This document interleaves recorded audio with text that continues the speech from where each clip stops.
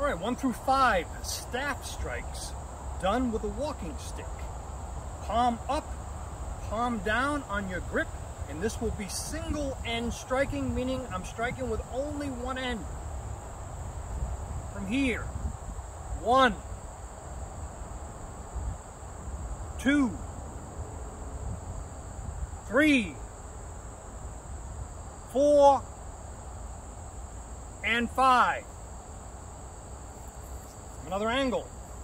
One, two, those are diagonals. Three, four, those are horizontals, and five.